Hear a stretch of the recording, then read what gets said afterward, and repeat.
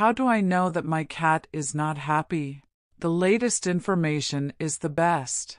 Even with all the effort put in, it is necessary to be aware that, sometimes, the owner can go overboard and irritate the pet. Generally, before an aggressive situation, the feline usually signals that the game or human behavior does not please him.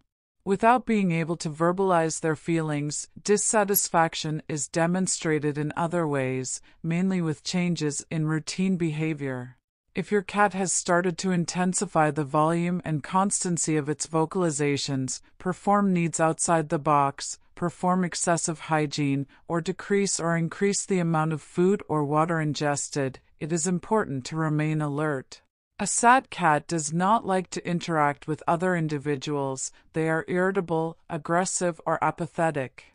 Furthermore, they present several health problems resulting from behavioral changes. Among the most common are joint, urinary, gastrointestinal, and skin diseases.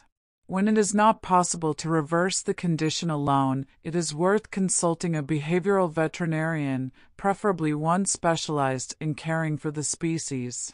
Cat therapy works like human therapy. First, we investigate the possible causes and triggers of behavioral changes. Afterwards, a treatment process begins through guidelines that the guardian must follow.